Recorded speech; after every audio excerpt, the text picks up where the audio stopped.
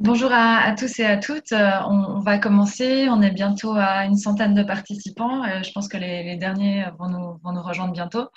Donc, merci d'être aussi nombreux et nombreuses aujourd'hui pour ce webinaire qui promet d'être passionnant. J'ai déjà pu voir la présentation euh, de notre intervenant. Vous allez voir, ça va être vraiment intéressant. Donc, ce webinaire est le fruit d'une initiative prise entre la communauté d'apprentissage en matière de cartographie des incidences, OMLC, et le réseau francophone de l'évaluation. Je vous dis quelques mots sur ces deux organisations euh, euh, dans le cas où vous ne les connaîtriez pas, et puis euh, sur moi, et ensuite je vous présenterai l'intervenant. Alors, la communauté d'apprentissage est un réseau mondial ouvert et informel dont l'objectif est de faciliter le partage d'informations et l'apprentissage sur l'utilisation de la cartographie des incidences pour la planification, le suivi et l'évaluation d'interventions complexes de son côté, le, réseau francophone de l'évaluation a été créé en 2013 avec l'appui de l'Organisation internationale de la francophonie. Euh, il est dédié à la promotion de l'évaluation dans l'espace francophone. Il rassemble actuellement euh, une vingtaine d'associations nationales d'évaluation et mène de nombreuses initiatives de développement des capacités en évaluation, euh, de plaidoyer auprès des décideurs publics. Il favorise la mise en réseau des commanditaires et des évaluateurs et évaluatrices au niveau francophone et il soutient les associations nationales membres dans leurs activités de promotion de, l'évaluation. Euh, moi, je m'appelle Claudine Morier, je suis euh, depuis peu évaluatrice indépendante associée au réseau d'experts Collaborative Impact. Après avoir travaillé euh, un certain nombre d'années comme évaluatrice, chef de projet au contrôle fédéral des finances, qui est donc l'organe suprême de surveillance de la Confédération suisse. J'ai été membre du comité de la Société suisse d'évaluation et je suis actuellement vice-présidente euh, du, RFE. Et c'est en cette qualité que j'ai l'honneur d'assurer la modération euh, de ce webinaire. Laissez-moi donc sans attendre vous présenter notre intervenant. Il s'agit de Ziad Moussa, qui est évaluateur indépendant au bénéfice de plus de 20 ans d'expérience. C'est un ancien membre et actuel conseiller auprès du collège exécutif bah, de la communauté d'apprentissage sur la cartographie des incidences il a également été président de l'Organisation internationale pour la coopération en évaluation, IOCE, et coprésident d'Eval Partners. Et donc aujourd'hui, il va nous faire découvrir ce qu'est la cartographie des incidences et surtout nous aider à voir pourquoi nous avons besoin d'un nouveau regard pour évaluer, pour évaluer autrement.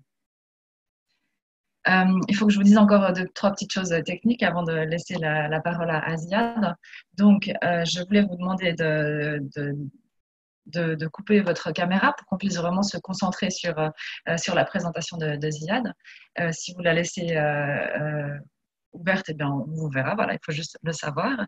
Et puis, le, webinaire va durer une heure. Ziad va faire une présentation d'une trentaine de minutes et ensuite nous aurons le temps d'approfondir les aspects qui vous intéressent. Donc pour que vraiment on, arrive à, contrôler un peu le timing, euh, vos questions, euh, ce serait bien en fait de les écrire dans le, dans le chat. Euh, il y a mon collègue Jean-Marie Loncle, qui est secrétaire permanent du RFE, qui m'aide à collecter les questions, à les regrouper en, cas, en cas de, besoin. Et ensuite, à la fin, je les poserai à Ziad. Ça nous permet de, voilà, de, garantir une fluidité plus grande du webinaire. Et puis bon, si on n'arrive pas à traiter toutes les questions, euh, aujourd'hui, on, les traitera euh, plus tard euh, par écrit et on les publiera les réponses sur les réseaux sociaux. Et bien sûr que ce, webinaire est, enregistré et sera mis à disposition ensuite avec la présentation aussi elle-même sur, la chaîne YouTube du RFE et sur la communauté d'apprentissage également. Voilà, je crois que, je crois que j'ai tout dit. Donc, Zia, si tu veux bien, c'est à toi.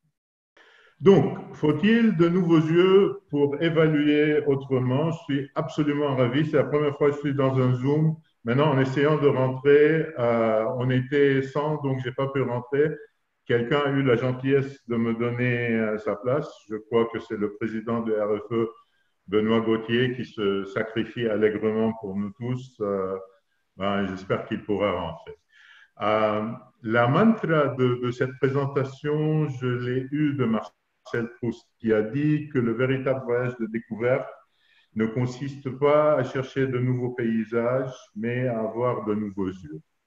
Et en tant qu'évaluateur, évaluatrice, je sens que euh, cette question de nouveaux yeux pourrait nous être pertinente. Euh, mais d'abord, il faut dire que la plupart du matériel, bon, une, bonne partie du matériel de cette présentation ne vient pas de moi-même.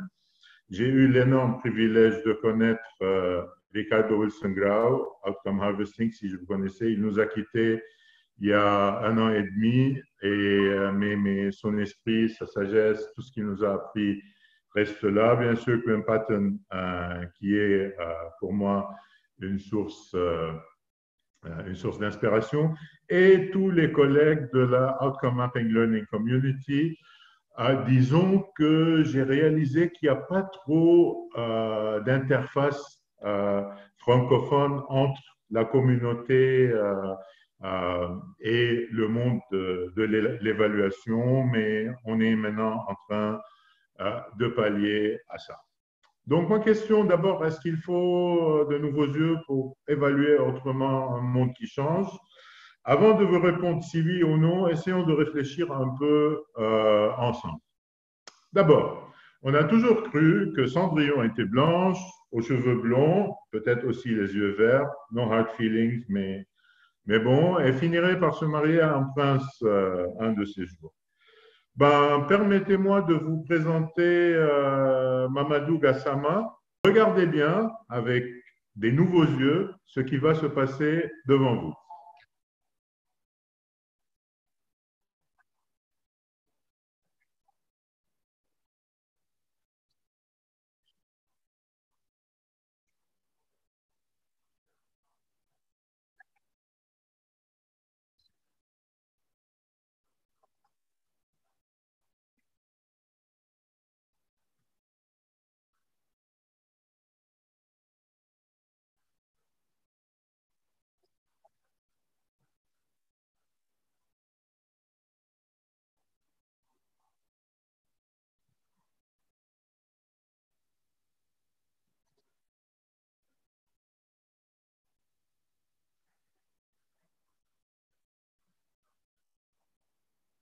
Donc, vous avez vu euh, Mamadou. Ah, son histoire s'apparente à une fable euh, des temps modernes. BBC News, euh, CNN, Mundo Global, Al Bayan en arabe, et vous voulez encore plus? Il a son entrée Wikipédia. La plupart de nous ne l'ont pas. Il est accueilli en héros à Bamako. Euh, il est reçu à l'Élysée. Il, euh, il rentre chez les pompiers de Paris. Emmanuel Macron lui donne la nationalité. Nicki Minaj lui offre une jolie montre. Samuel Eto'o lui offre une belle maison. Le président du Mali doit le recevoir. Mais, mais là, euh, on se demande, si on regarde ça avec de nouveaux yeux, on a le droit de se demander qui a sauvé qui, euh, qui, a sauvé qui dans, cette histoire? Et donc euh, là, je voudrais bien euh, vous écouter dans la chat, sans, sans vous écouter. Dans le chat, vous pensez qui a sauvé qui là? Le garçon a sauvé Mamadou ou Mamadou a sauvé le garçon? Ok, il y a quelqu'un qui dit ils se sont aidés, les deux, les deux ils se sont sauvés, etc. Et donc, euh, voilà. Donc, la, plupart, euh, plupart d'entre vous euh, est d'accord avec moi que, bon, c'est plus ou moins, c'est plus ou moins mutuel, quoi. Mais l'histoire, l'histoire se complique, se complique un peu plus. Voilà quelqu'un qui dit c'est une grossière mise en scène pour manipuler l'opinion en faveur de l'invasion migratoire. Vous, voyez, bon, un autre encore plus, plus, futé, il dit si quelqu'un peut m'expliquer comment un enfant suspendu au-dessus de vide par un bras plié peut se déplacer d'un mètre en quelques secondes. Ben, et il faut changer d'angle. Euh, sur cette photo ici, on, voit qu'il est pratiquement à côté du voisin. Mais sur celle-là, on voit qu'il y a quand même une grande distance et qu'il y a une barrière qui empêche euh, le voisin de, le, euh, de l'agripper. Et si vous ne croyez pas, euh, vous ne me croyez pas qu'il faut changer d'angle, ben demandez au prince William. Vous avez vu ce tweet offensant de ce pauvre prince William en train de faire un doigt d'honneur à la presse. Mais non, tout ce qu'il disait, c'est après la naissance de son nouveau bébé, qui sont devenus trois maintenant. Donc voilà, l'angle, l'angle et les nouveaux yeux euh, sont des, ingrédients euh, pour voir le monde, euh, le monde autrement. en tant qu'évaluateur, évaluatrice, on multiplie les angles, on couvre les angles morts, et ce, afin de les regarder avec des, nouveaux yeux. Revenons maintenant à nos moutons. À ceux d'entre vous qui ont suivi un cursus académique, je les vois maintenant en train d'avoir des sueurs froides. la belle queue, je ne sais pas comment ça s'appelle euh, en français, ce qui est statistiquement représentatif et ce qui ne l'est pas. Eh bien, imaginez-vous que le 20 mars 2019, euh, la très respectable American Statistical Association vient de légiférer qu'il faut aller au-delà du statistiquement significatif, c'est-à-dire où la probabilité d'erreur est au-dessous de 0,05. Et les statisticiens, les statisticiens, ah, plutôt que les évaluateurs, donnent cinq conseils ne basez pas les conclusions uniquement sur une association où un effet a été jugé statistiquement significatif. Ça peut avoir, ça peut donner quelque chose comme ça peut ne pas le donner. Ne croyez pas qu'une association ou un effet existe simplement parce qu'il était statistiquement significatif. Et de même, s'il n'y a pas euh, de la signification statistique, ça ne veut pas dire que l'effet est absent. Et surtout, ne concluez rien sur l'importance scientifique ou pratique sur la base de la signification statistique ou son absence. Donc les statisticiens nous donnent une, une vraie raclée parce que ceux qui sont comme moi dans le monde de l'évaluation depuis une bonne dizaine d'années se rappelle que en 2007, 2008, juste avant la, crise, euh, le, métier était en train de bouger vers ce qu'on appelle le golden standard, le, standard euh, en or, c'est-à-dire on ne peut pas juger une action que si on a un groupe euh, de traitement et un groupe de contrôle et on fait cette fameuse analyse statistique et on a le P au-dessous de 0,05%. C'est un changement majeur. Et donc, les chantres de la significativité euh, statistique prennent maintenant une ouverture sur l'incertitude liée à la complexité et aborder la recherche avec de nouveaux yeux. Et en parlant de statistiques, il suffit d'observer la bataille autour des chiffres de Covid pour comprendre les enjeux autour des statistiques, parce que chaque statistique génère une action et des réactions et, une histoire qui ne finit jamais. Par exemple, la mortalité par les, par les cas détectés, hein, qui, à un moment donné, a mis la France euh, tout en haut. Et euh, on voit des tweets comme pas besoin de grands discours, la France dépasse les 17%, la gestion de Macron est simplement catastrophique, etc., etc. Sans défendre Macron ou réhabiliter Roselyne Bachelot, je vous laisse euh, regarder ça aux 20 heures. Mais ce graphique-là, on confond deux indicateurs. Le taux de mortalité, c'est-à-dire le nombre de décès rapportés à la population générale, et le taux de létalité, c'est-à-dire le nombre de décès par rapport euh, au nombre de cas. Euh, par exemple, en Italie, ils ne comptent pas les morts dans les, maisons de retraite. L'Espagne et l'Allemagne comptent tous les décès. Euh, la France et le Royaume-Uni ont commencé par recenser les morts à l'hôpital avant d'ajouter les décès en EHPAD, etc. etc. Donc, c'est un exemple d'effet trompeur. Et puis, il y a cette histoire de, de, miroir euh, déformant. Quoi. Donc, euh, il y a une autre comparaison qui gomme la mortalité de l'épidémie, et je ne sais pas pourquoi le, graphique euh, a sauté. C'est-à-dire, si vous voulez bien croire que seulement la province de Wuhan en Chine était affectée, on ne peut pas ramener le nombre de morts par cas sur les, milliards et demi que compte la Chine.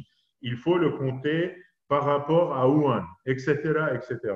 Donc, vous voyez bien que, les, manipulations des statistiques, c'est quelque chose euh, euh d'assez euh, omniprésent et qui pèse aussi euh, sur,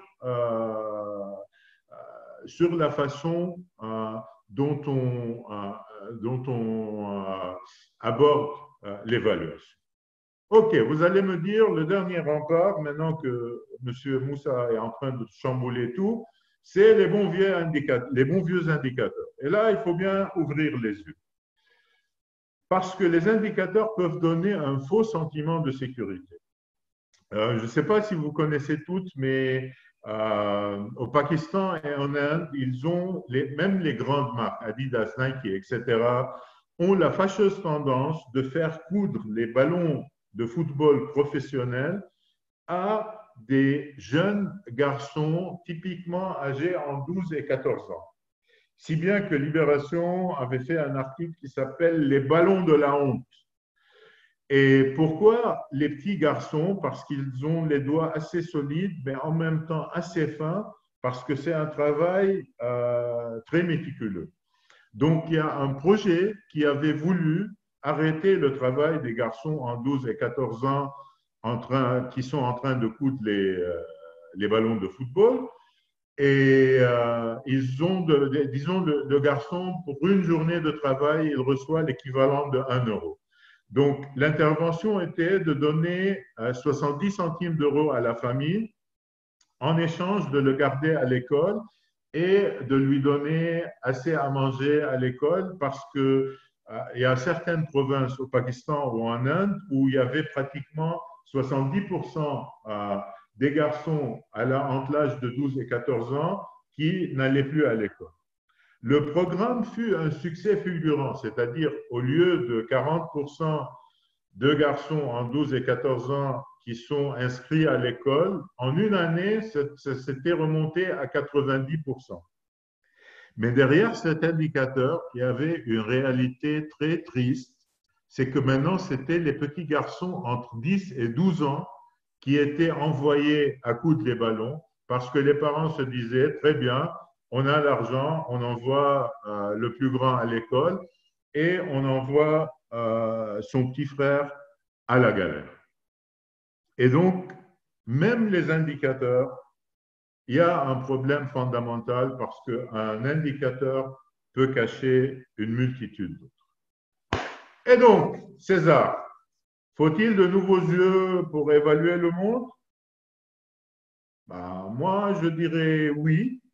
Et une façon pour voir la réalité, le développement, la complexité avec de nouveaux yeux, c'est la cartographie des incidences. Et là, je m'arrête pour vous dire, si vous croyez que dans les 15 minutes qui me restent, je fais faire de vous des experts dans la cartographie des incidences, vous vous trompez.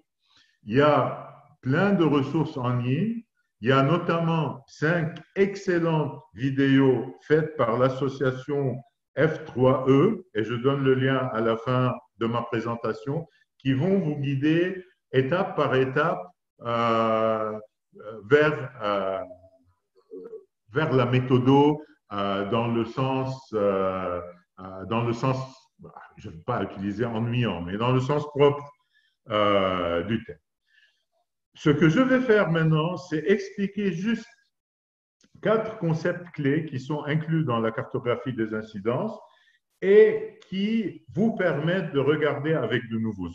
Le et, et, là aussi, il faut dire que euh, la cartographie des incidences, bien euh, qu'elle soit le, grand-parent ou le parent de, du outcome harvesting. Ça doit se traduire, je crois, en français à la moisson des incidences. Bref, ça ne donne pas la force qui existe dans le, dans le mot anglais.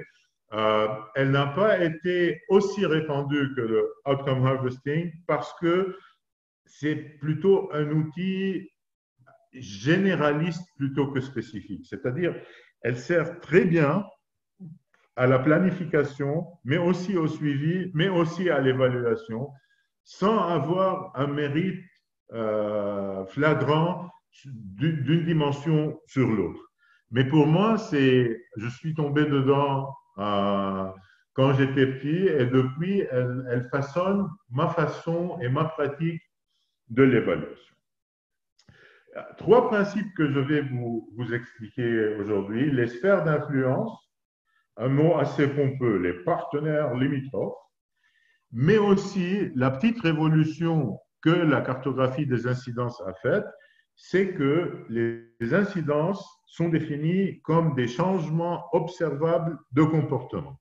Et on va démystifier, euh, on va démystifier un peu ça. Voici un modèle super classique. Hein. Donc, on est derrière le bureau, on a 500 000 euros, on a trois ans, on va planifier les intrants, les activités, on va lire dans une boule de cristal les résultats, on va articuler à partir de ces résultats les incidences et on va faire un impact qui s'apparente probablement à changer le monde. Donc, euh, si vous connaissez euh, le, proverbe, vous pouvez amener le cheval euh, à l'eau, mais vous ne pouvez pas le, forcer à boire. Une, suite logique de ce genre-là, super linéaire, anticipe une fin heureuse dans la bonne tradition des romans harlequins. Je vois vos, vos yeux faire des formes de cœur. Hein. Mais la réalité, les amis, c'est plutôt quelque chose comme ça. On est tous, euh, on est tous euh, euh, dans, le, dans le métier, on sait que ben, ça, la, la, la, vraie réalité, c'est comme ça. Elle ne peut pas être prédite d'une façon super, super linéaire. Dans ce cas, les chevaux peuvent très bien endosser des gilets jaunes et vivre heureux jusqu'à la fin des temps. Et là, j'ai pris le soin de vous faire un cheval en gilet jaune. Comme quoi, il faut dire que ce qu'on peut contrôler, c'est les intrants, les produits qu'on va donner, les consultants qu'on va engager. On peut contrôler aussi les activités. On peut s'assurer à ce qu'on délivre les meilleurs euh, les, meilleurs suivis, euh, tout ce qu'il y a euh, de beau et de bien.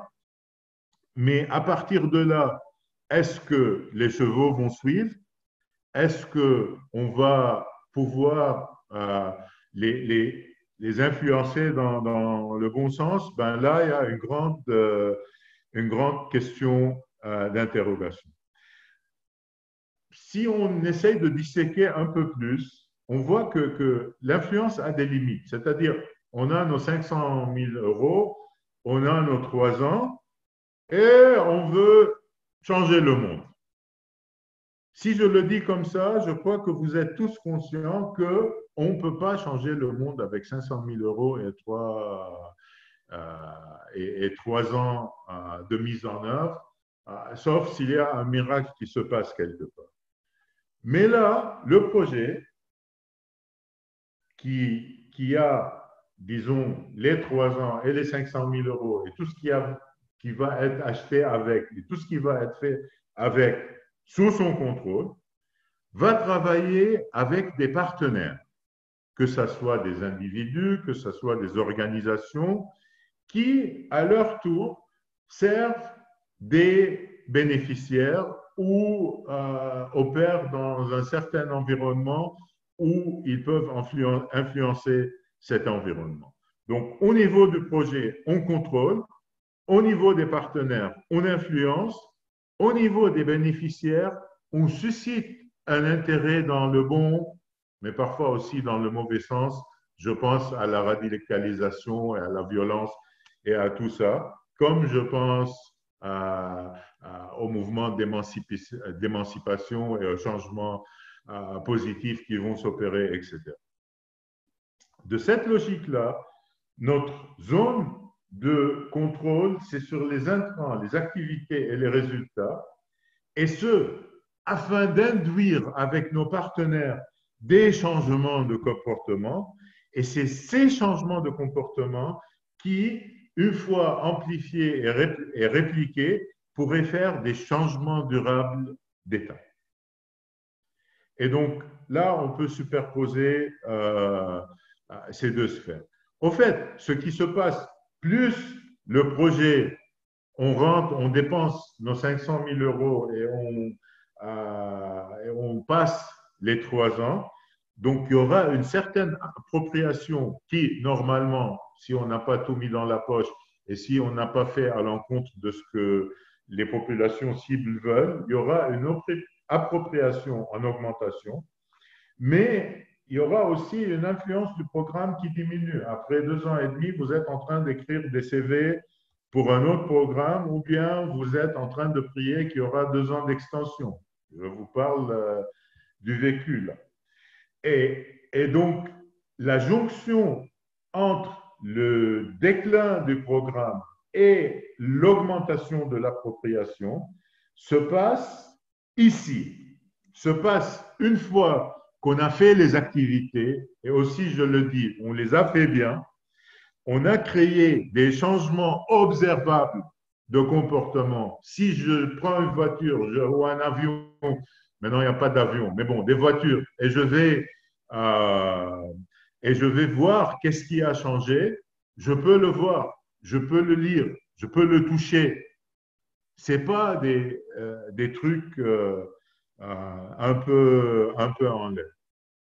Et au fait, ça s'apparente à changer le focus de l'évaluation, de mesurer les intrants et les extrants et les activités et je ne sais plus quoi, qui peuvent être mille fois mieux que nous par des comptables ou des auditeurs, à essayer de comprendre les transformations euh, au niveau de put-put, bon, ça rime bien en anglais, je n'ai pas pu traduire en, français, mais euh, l'idée est que les, les intrants, les extrants, les activités, tout ce qu'on fait, c'est afin d'induire des changements chez nos populations cibles. Et finalement, si on, euh, si s'obstine juste à mesurer euh, les intrants et les, activités, je ne sais pas quoi, on est en train de rater ce qui compte et ce qui est important, qui est euh, les, les processus de transformation sociétaux, environnementaux, économiques, qui normalement doivent perdurer une fois qu'on n'est plus là. Au fait, on rentre là dans le deuxième dans le deuxième, euh, euh, deuxième concept qui est les partenaires limitrophes. Finalement, Put-Put, c'est le partenaire limitrophe. C'est-à-dire, le programme, il travaille avec des bénéficiaires, comme on a dit. Et il y a plusieurs parties prenantes. Certaines, euh, comme le ministère responsable de je ne sais pas quoi, n'est pas nécessairement euh, impliqués. Certains autres, comme l'Association pour la sauvegarde euh, de la forêt de je ne sais pas quoi, avec qui on est en train de dépenser nos 500 000 euros en trois ans, ben, eux, ils sont euh, directement impliqués. Maintenant, si vous vous rappelez l'influence, l'intérêt, les, slides, les slides d'avant, il y a à la jonction entre le programme et le monde dans le sens large du terme, certaines catégories de parties prenantes où on dépense notre temps, où on dépense notre argent, où on arrive à être vraiment euh, sur la même longueur d'onde euh, ensemble. Et ça, c'est les partenaires limitrophes qui, à leur tour, vont, euh, euh, euh, disons, disséminer disséminer les, les, objectifs et les idéaux et les principes sur lesquels le, projet a été bâti un peu plus largement. C'est un peu comme, euh, plus ou moins comme maintenant le, le, Covid. Si on reste confiné, si, si on a le virus, il s'arrête là. Le plus on rentre en contact avec les gens, le, plus on, épanche le virus à des gens qui, à leur tour, vont l'épancher à des gens, plus on atteint, on atteint un, seuil, académique. Et donc, la plupart du temps, les approches, euh, les, les, approches euh, d'évaluation veulent ou bien comprendre les changements de comportement, ou bien veulent comprendre la performance interne du programme. Mais finalement, là où il faut regarder, c'est cet, cet espace commun là où le programme, avec les partenaires limitrophes, induit des changements de comportement et comment ces changements de comportement peuvent être disséminés euh, dans, le, contexte euh, le plus global. Maintenant, pour un peu vous dire, ça existe dans un excellent livre, euh, la cartographie telle qu'elle a été développée par Earl Carden et Smutillo consiste en 12 étapes. La, la première, celle qui reçoit le plus d'attention, c'est l'étape de la définition euh, des intentions. Il y a le suivi des incidences et du rendement et il y a la planification de l'évaluation. Et les, questions qu'on se pose sont euh, qu'est-ce qu'on veut apprendre? Qu'est-ce que nous sommes en train de faire d'essayer de faire et comment, et qu'est-ce qu'on veut savoir en fonction de ce qu'on est en train d'essayer de faire euh, et comment? Je vais juste très rapidement survoler la, première, euh, la première étape qui est la définition des intentions. Elle consiste à établir une vision, à répondre au qui, c'est-à-dire qui sont les partenaires limitrophes avec qui euh, on va travailler, mais répondre aussi au quoi. Et là, il y a les étapes qui s'appellent les incidences visées et les marqueurs de progrès, et le comment, qui est la mission, les grilles stratégiques, les pratiques organisationnelles. Comme j'ai dit, il y a une excellente vidéo, cinq vidéos en fait, euh, que vous pouvez voir en séquence l'un après l'autre. Ça commence euh, sur le général et puis ça vous, ça vous tient la main pour cheminer euh, euh, dans, dans, ces, euh, dans ces différents états. Mais, mais ah, très rapidement, Martin Luther King avait dit J'ai un rêve. Et ça, ça explique la, vision telle qu'elle est, telle qu'elle est conçue dans la cartographie des incidences.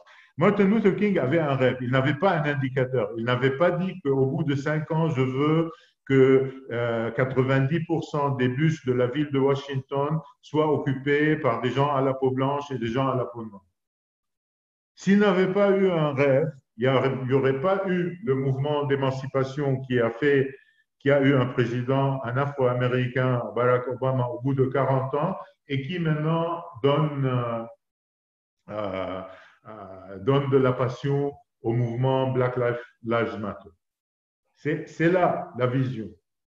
Et puis il y a la mission qui est très rapidement la, disons, la bouchée de la, de la pomme, la bouchée de la vision qu'on va mettre en œuvre à travers euh, le programme. Et la petite révolution que la cartographie des incidences a instaurée, elle a dit, quand vous planifiez, planifiez grand et rêvez grand. Quand vous évaluez, focalisez-vous sur ce qui peut euh, être évalué. C'est-à-dire, ne sacrifiez pas vos rêves sur l'autel des indicateurs au début, euh, au début, mais une fois que vous avez mis le programme en œuvre, soyez conscient que 500 000 euros et trois ans ne pourront pas changer le monde et donc évaluez en fonction des sphères d'influence du programme. Euh, je vais aller un peu vite parce que je vois Claudine qui, qui s'impatiente. Euh, justement, à propos des indicateurs, euh, la cartographie des incidences a mis un grand bâton de dynamite et les a dynamités. Bon, là, c'est l'instinct libanais belliqueux qui parle. Non, euh, la cartographie des incidences a dit, au lieu d'avoir un indicateur qui peut facilement cacher un autre, comme on a dit au début, oubliez-moi des trucs comme une meilleure appropriation des acquis et une meilleure intégration des réfugiés une réduction du conflit au niveau de je ne sais pas quoi et des femmes plus euh, empowered, je ne je sais plus le mot en français. Donc, oubliez ces trucs un peu euh, dans le la la la et dites-moi ce que vos partenaires font différemment et c'est ça vos résultats. Et plutôt que d'écrire un indicateur sur l'ensemble de programmes et pour, un, pour chacun des partenaires limitrophes, essayez de formuler qu'est-ce que vous vous attendez à voir dans l'immédiat une fois que vous avez mis en place le programme, qu'est-ce que vous souhaiterez voir une fois que le programme a été articulé et que la mayonnaise commence à prendre, et qu'est-ce que vous aimeriez voir, c'est-à-dire à la fin et plus loin que la fin du projet, quels sont les changements qui, euh, euh, qui, vont, être, qui, vont, être mis, euh, qui vont être mis en place? Et donc, ça va du plus facile au plus difficile. Et si on les lit ensemble du début jusqu'à la fin, on a plus ou moins l'histoire du projet avec le partenaire limitrophe plutôt que des indicateurs qui, le temps venu, on doit courir derrière eux afin euh, de les comprendre. Par exemple, dans un truc des forêts modèles, euh, qui travaillent avec les collectivités locales. J'ai dit qu'on avait beaucoup euh, aujourd'hui qui travaillent avec les collectivités locales. Donc, on s'attend à ce que les collectivités locales participent aux réunions, mettent une structure de coopération et de coordination, acquièrent des nouvelles compétences pour participer activement à la gestion et contribuent de leur temps et pourquoi pas de leur argent pour la mise en œuvre. Donc tout ça, c'est, comme j'ai dit, tout au début du projet et il peut être, euh, euh, et il peut être euh, raisonnablement, si tout marche bien, il n'y a pas de contretemps, une révolution par-ci, une inondation par-là, un peu de fraude par-ci, quelqu'un de non coopératif par-là, ça doit marcher. Mais si ça marche, normalement, la plupart des plans de suivi et évaluation s'attardent sur ces aspects-là. Mais ce qui est important, c'est plus loin dans le temps que ces collectivités locales soient partie prenante du concept des forêts modèles, étendre le partenariat à tous les principaux exploitants, fasse appel à des experts, réclame des nouvelles possibilités de formation, identifie des possibilités de coopération, signe avec des autres, font des visites d'échange, euh, essaye de taper à des portes pour avoir plus d'aide financière. C'est là où on est vraiment en train de changer la vie des collectivités territoriales. C'est ni en leur achetant un ordinateur à mettre dans le bureau, ni en les prenant dans une visite par-ci ou par-là, ni en leur achetant un tracteur. Donc, c'est tous ces aspects-là euh, qui, doivent être pris en considération. Et dans l'idéal, qu'ils deviennent des leaders dans la gestion des ressources.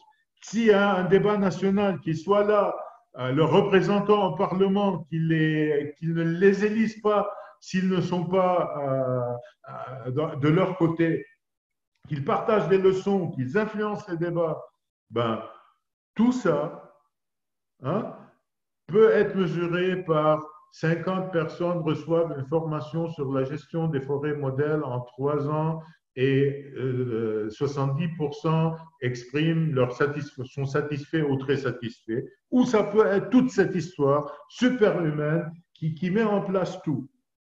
Moi, j'irai de ce côté-là. Il n'y a plus de temps pour les grilles stratégiques et je ne veux pas que, Claudine ne me parle plus pour le reste de la vie, ni Jean-Marie. Donc, et je veux bien sûr écouter, on est 100 personnes. C'est la première fois que je suis dans un Zoom à 100 personnes, donc je veux entendre et recevoir autant que possible de, vous. Donc finalement, une petite anecdote. Vous savez, chez nous, euh, en Arabie, les, chameaux sont les, animaux nationaux. Donc il y a un petit chameau qui demande à sa maman, euh, j'ai quelques questions existentialistes à te poser, maman. Euh, il lui dit, ben, pourquoi on a des bosses? La maman lui dit, ben, tu sais, on est des animaux du désert. Dans notre bosse, on store de l'eau et elle est faite de matière grasse, donc on peut survivre très longuement dans le désert grâce à notre bosse. Et puis, il dit, très bien, je comprends. Donc, euh, pourquoi euh, nos, pattes sont longues et rondes? Elle lui dit, ben, tu sais, mon fils, le désert, c'est du sable. Donc, on doit avoir des pattes longues et rondes afin de bien marcher dans le sable. Et puis, il lui dit encore une question. Pourquoi est-ce que euh, nos, sourcils sont, sont si longs? Et il gêne ma vue des fois. Elle lui dit, mais ben, tu sais, mon fils, dans le désert, dans le désert, euh, ça, nous sert, ça sert à protéger nos yeux, du soleil et du sable. Il dit, ah bon, donc on est des animaux du désert, on store dans notre bosse l'eau, euh, nos pattes sont adaptées pour le sable du désert et nos yeux sont adaptés pour le désert. Ben, qu'est-ce qu'on fait au jour? Bon, je vous vois sourire. Bref, pour plus d'infos, voici le lien pour les cinq vidéos produites par la F3E. Allez-y, servez-vous. Il y a aussi, euh, vous avez reçu dans l'invitation le lien à la Outcome Mapping Learning Community, la communauté d'apprentissage pour la cartographie des incidences. Je ne dis pas qu'il y a des milliers de références, mais il y a quelques bonnes références francophones là-dessus. Et sur ce dit, merci. Super, merci, beaucoup Ziad. Euh, tu peux remettre ta caméra. ça nous a manqué de, ne pas pouvoir te voir durant la présentation, mais c'était sûrement euh, mieux pour des questions de connexion. S'il te plaît, garde ton, micro ouvert aussi pour qu'on n'ait plus de, de problème. Euh, alors, les questions euh, arrivent gentiment. Je crois que l'audience était captivée par ta présentation et ils ont oublié de, poser des questions. Donc là, ils sont en train de, s'y mettre. Alors, qu'est-ce qu'on nous a demandé? On nous a demandé est-ce qu'il n'y a pas, en fait, en partant de la chaîne de résultats présentés, est-ce que les effets se confondent avec les incidences? Voilà, donc peut-être qu'il y aurait besoin de clarifier un peu euh, cette question de euh, effet et incidence. Euh, et on, nous, a aussi demandé, il y a une question qui est posée pour comprendre qui sont les partenaires limitrophes. En fait, ça, a l'air de ne pas être très clair pour, pour nos, certains participants. Est-ce que cette vision doit être développée avec les partenaires limitrophes? Quels sont les avantages et les, inconvénients? Peut-être que cette question était plus spécifique à un moment de la présentation. Je ne sais pas si on peut en revenir là-dessus. Bon, je continue à, lire un peu les questions puisque malheureusement, euh, on a un petit problème de micro de nouveau.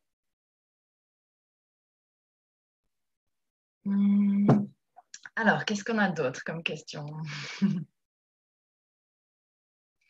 Oui, est-ce que la cartographie des incidences n'est pas plus adéquate pour les projets de plaidoyer que pour les projets standards? Donc, on a perdu Ziad, mais il va revenir. Hein. Il nous a fait la démonstration avant que, ça avait marché. On y croit. bon, ce pas des conditions faciles euh, pour faire la modération, je m'excuse. Continuez à vous poser vos questions et puis on les, euh, on s'était arrangé, on s'était mis d'accord avec euh, Ziad qu'il pourrait euh, y répondre par écrit. On pourrait publier ça après sur le site du RFE. On va trouver un moyen. Euh, je crois que Ziad est revenu. Bon, revoilà. Magnifique. Alléluia. on peut faire difficile. Donc, j'ai complètement raté les questions. Si tu as la gentillesse de me les répéter. Euh, D'accord. Désolée, chère audience, pour ce petit côté répétitif. oui, alors il y avait une question. Est-ce que, est que les effets et les incidences, est-ce qu'il n'y a pas tendance à confondre en fait les effets et les, incidences En partant de la chaîne de résultats? Incidence égale changement de comportement. Avec le thermomètre, on peut euh, prendre une, température. Mais euh, je ne sais pas, euh, si on dit une connaissance approfondie, il n'y a pas un connaissanciomètre. Si on est arrivé à transmettre des connaissances, disons sur la gestion des forêts, si on va et on parle à nos partenaires limitrophes, là, ils, doivent, ils vont pouvoir euh, nous dire, euh, nous montrer des réalisations tangibles qu'ils ont eues à cause de leur connaissance accrue. Si vous voyez un peu la, différence. Un peu comme faire euh, un, exemple classique, c'est la violence domestique. Donc, les femmes sont plus conscientes de leurs droits. Magnifique. Mais si les femmes ne vont pas au commissariat et vont déposer des plaintes, être conscientes de leurs droits ne va servir à rien. Ou disons, est dans un processus qui va les conduire au commissariat. Mais il faut qu'on puisse arriver, dans le cas des violences domestiques, à pouvoir aller déposer plainte. Si on ne dépose pas plainte, on est à côté du sujet. Désolé. OK Très bien, merci. Euh, est-ce que, est que la cartographie des incidences ne serait pas plus adéquate pour les projets de plaidoyer que pour les projets standards Puisqu'il est question de mettre l'accent sur les partenaires euh, que sur les indicateurs. Absolument. Disons, un projet d'autoroute, euh, bon, on peut voir qui sont les partenaires limitrophes qui vont utiliser cette route, mais aussi si dans le cas de M. Bolsonaro au Brésil, il est en train de, casser la réserve une, réserve euh, d'Amérindiens pour la faire passer. Donc, ça dépend. Plus c'est euh, axé sur le changement, euh, plus c'est la, cartographie des, des incidences est adéquate. Mais par exemple, si vous me demandez pour un programme de vaccination, je dirais qu'il faut compter le nombre de gens, le nombre de gens vaccinés, avoir le taux. Si on est à 100%, c'est réussi. Il y a, il ah, ne faut pas, faut pas trop y penser. Mais par contre, si on a tous les moyens d'arriver à 100% et on n'est pas en train d'arriver, donc il y a un projet pour augmenter le taux de vaccination, donc changer les comportements des gens, là, ça devient euh, plutôt euh, adéquat pour la cartographie des incidences. Très bien. On a quelqu'un qui posait la question euh, pour un micro-projet très limité dans l'espace euh, mhm. Je trouve la cartographie des incidences tout à fait formidable, mais je doute de son application quant à des projets de plus grande envergure et plus complexes. Qu'en pensez-vous? Ah non, ah non, ah non, dans le, sur Outcome Mapping, mais ce n'est pas .com, c'est .ca de Canada parce que c'est là-bas où le, le domain name a été, euh, a été acheté. Il y a des études qui montrent spécifiquement le, le truc des forêts modèles. C'est un truc dans 14 pays sur des surface énorme avec des populations très diverses, euh, qui a appliqué une approche en même temps standard du côté des, formations de base, des supports de base et des structures de coordination, mais avec des localisations en fonction des partenaires limitrophes dans, chaque contexte, euh, et, qui, a fait euh, d'excellentes preuves. Donc, quelle que soit la taille du projet, c'est bien. Mais là, là où c'est pas bien, c'est si j'ai un partenaire qui veut compter, il va pas écouter mes histoires. Donc, ça, ça dépend beaucoup euh, sur le bailleur ou le donateur. Euh, mais le temps change. J'ai vu passer une question sur la theory of change, sur les théories de, changement. Et au fait, euh, au fait la, cartographie des incidences est un excellent moyen pour monter la théorie de changement parce que les formes existantes de la théorie de changement, elles loupent complètement le, euh, le concept des partenaires limitrophes. Et comme j'ai dit au début, on ne change pas le monde avec 3 ans et 500 000 euros.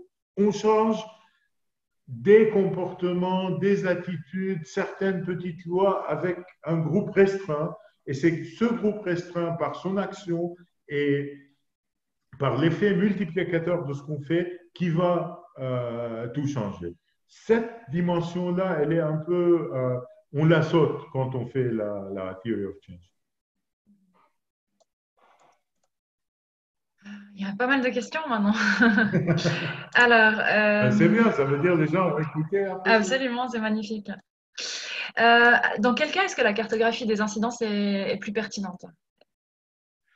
Ben, Comme j'ai dit, quand il faut changer des hommes et des femmes, quand il faut sauver du patrimoine, quand il faut rapporter, faire face à un tyran, c'est là où euh, on a besoin de bien cibler et de pouvoir dire, raconter, d'anticiper et puis, Inch'Allah, raconter l'histoire de changement qu'on est en train euh, de mettre euh, en œuvre. Et c'est là où c'est le plus, le plus pertinent. Et même si vous êtes obligé par un cadre logique, même si vous avez des, des structures très carrées pour le suivi et l'évaluation, quand vous êtes en train de planifier une intervention au sein du projet, ou même un nouveau projet, ça peut beaucoup vous servir euh, une fois que vous avez capté les, les, principes directeurs afin d'articuler une proposition d'action qui, qui, est vraiment solidement euh, ancrée dans la réalité et qui peut aller très loin. Donc, donc ce n'est pas un problème si le projet ou le programme n'a pas été conçu avec cette approche en tête? Oui, euh, ben, la plupart du temps, même avec les théories de changement et tout ça, euh, les, approches qualitatives, rarement c'est conçu. C'est-à-dire si le bailleur, c'est les États-Unis ou euh, l'Union européenne ou la Grande-Bretagne qui a eux trois et, les Japonais et les Australiens. Donc à E5, on est à 90% de l'aide. Ils vont demander un cadre logique. Mais, mais, à partir de là, si on veut savoir comment est-ce qu'on fait et où on va et tout ça, on peut reconstruire ou faire rentrer euh, la cartographie des incidences. Là aussi, pour ne pas dire que je suis en train de vendre euh, euh, sans mettre en garde. Une fois qu'on doit collecter euh, tout ce qui est les journaux des incidences, les journaux de performance et tout ça, c'est un travail qui nécessite beaucoup de contacts humains, beaucoup de déplacements, beaucoup de concertation, et donc il demande du temps et de l'argent plus que les approches traditionnelles qui consistent à compter ou à faire rentrer quelque chose sur Kobo en cinq minutes et, euh, passer à quelque chose d'autre. Donc, ça a un coût et ça a besoin euh, euh, ça a besoin d'un bail que, euh, le management de l'organisation désire apprendre et embarquer dans, une aventure comme celle Et comment, comment réagissent tes clients en fait quand tu présentes la méthodologie Est-ce qu'ils sont surpris? Est-ce qu'il y a des résistances ou ils, sont, ils accueillent plutôt bien ce genre d'approche? Ben, Les deux appâts qu'on leur met, c'est euh, le credo avec lequel j'ai commencé. On ne peut pas changer le monde avec des ressources limitées. Donc, quand un bailleur veut dire que, je ne sais pas, si on a des collègues du Bénin, donc euh, voilà, conserver les ressources forestières au Bénin avec un petit million dans une part du Bénin alors que le Bénin est large, là on leur dit, ben, on peut, réalistiquement, on, peut travailler avec X, Y, Z. Voici l'histoire de changement qu'on anticipe. Je m'attends à voir, je souhaiterais voir, etc. Et ensemble, on va essayer de changer le monde. Donc, c'est plutôt une proposition d'être partenaire plutôt que euh, donnant-receveur. Euh, et, comme j'ai dit, si le client a les antennes ouvertes, ça peut marcher. Euh, on dirait qu'il y a un peu d'incertitude chez certains de nos auditeurs, auditrices ou participants, de savoir si, euh, si on observe que les comportements des individus ou est-ce qu'on peut aussi observer des changements d'institutions, des changements dans les ah rapports sociaux de, plus grands groupes? Mais les individus, euh, donc essayons un peu de, de recadrer cette question de partenaires limitrophes. Moi, ma définition super simple, c'est les groupes les associations, les individus, les communautés, les villages où vous allez dépenser 90% de votre temps et 80% de votre argent. Sur un projet, il est hautement improbable qu'on travaille sur tout et avec tout le monde. Il y a certaines catégories avec qui on travaille de façon intime, et là, c'est les partenaires limitrophes. Aussi simple que ça. Aussi, si vous rentrez dans le, dans le manuel et dans les présentations de F3E, il y a, on, explique ça euh, assez bien. Donc, une fois qu'on a déterminé les partenaires qui peuvent bien être des organisations, maintenant, si on travaille avec une organisation contre la violence domestique et on met en place euh, une nouvelle loi qui pénalise euh, la violence conjugale d'une façon plus forte que celle qui existait avant, ben, on est derrière ça. Quand on raconte notre histoire de changement, quand on met les marqueurs de, progrès, on anticipe que dans trois ans, la loi va changer et plutôt que de passer un jour en prison et payer 50 euros, ça va être trois mois en prison et 1000 euros qui vont à un, les, pour les, fonds pour les femmes battues. Maintenant, est-ce que ça va se passer durant le projet ou pas? Peut-être il y a une élection, un président Illuminati qui va mettre ça en œuvre au bout d'un an plutôt que de trois. Ou bien il y aura quelqu'un de super borné et chauviniste qui va repousser ça jusqu'à la fin. Donc, nous, on planifie ça, on met ça dans notre ligne de mire, on essaye de mettre toutes les chances à nos côtés afin d'y arriver et on mesure le chemin.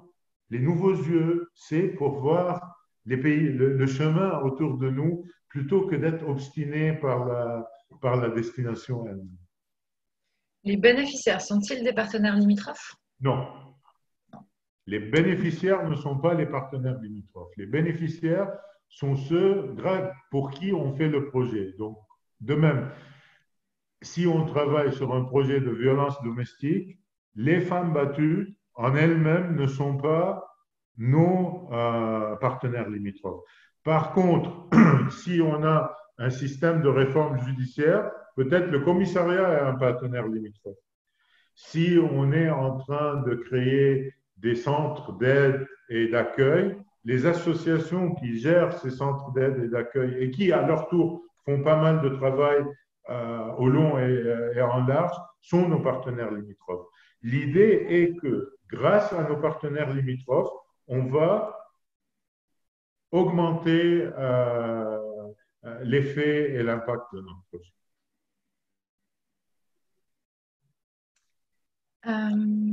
alors, il me reste encore quelques questions. je proposais de, terminer l'heure, hein, même si, comme on a commencé un peu, un peu plus tard. Oui. Alors, à la fin, je veux que tout le monde prenne, mette sa caméra. Je veux prendre une photo de tout ce beau groupe. D'accord, restez avec nous alors jusqu'au bout. très bien, très bien. Euh, alors, quelqu'un euh, demande, oui, il dit que, que, tes propos, euh, correspondent étrangement à Récolte des effets de Monsieur Patton. Est-ce que que c'est bien, enfin, quels sont les liens entre justement la récolte des effets de Patton? Ah oui, la récolte des effets. C'est pas Monsieur Patton, c'est Monsieur Wilson Grau dont j'ai montré la photo tout au début. C'est un Hollandais, brésilien, fils du monde qui était euh, président de, euh, du collège des Stewards euh, quand j'étais membre là-dedans et qui s'est inspiré des principes de la cartographie des incidences afin de monter sa méthodologie. Mais comme la méthodologie récolte des effets est, bien décrite et, et, elle vient clé en main, alors que la cartographie des incidences est plus large au sens du terme. C'est plutôt la récolte des effets qui est maintenant très en vue. Mais euh, euh, en suivant la présentation aujourd'hui, je crois que vous avez suivi les fondements qui ont conduit à, développer la récolte des effets, outcome harvesting en anglais.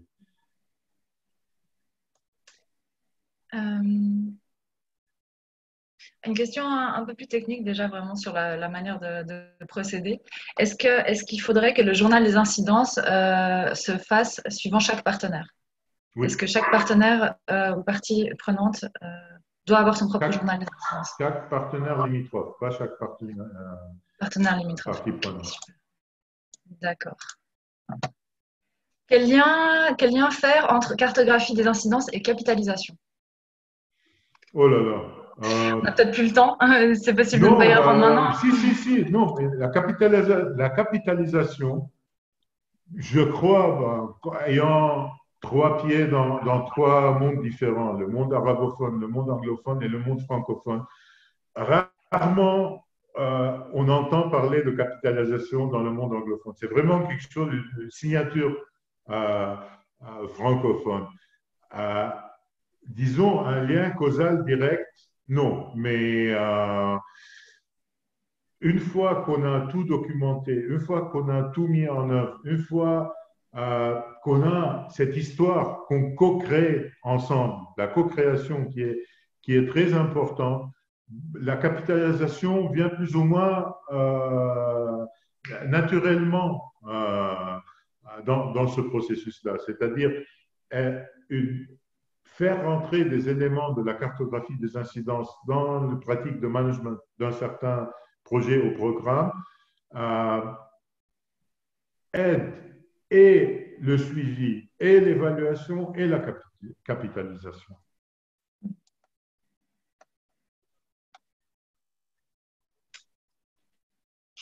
Euh, oui, alors quelqu'un pose la question est-ce que la récolte des effets, euh, c'est pas davantage une démarche de mesure des effets et moins de planification? Euh, Ok, la récolte des effets, peut-être on, devra remettre en place, on devra mettre en place un nouveau, un nouveau webinaire pour ça. La récolte des effets, la petite révolution qu'elle a faite, c'est que toutes les évaluations partent d'un point A vers un point B et mesurent le chemin qui a été pris du point A à un point B.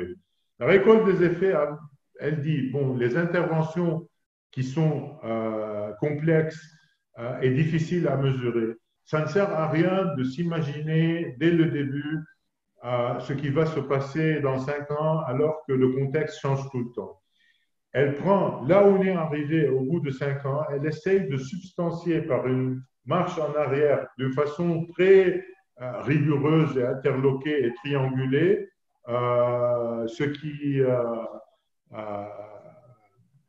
le, chemin qui a été pris. Très bien. Je pense qu'on va, on va gentiment arrêter. Ça, ça fait une heure maintenant. Euh, à moins que, je ne sais pas si tu as vu passer une autre question, Ziad, qui, te tenait à cœur. Je n'ai pas l'écran en question. Très bien, ok.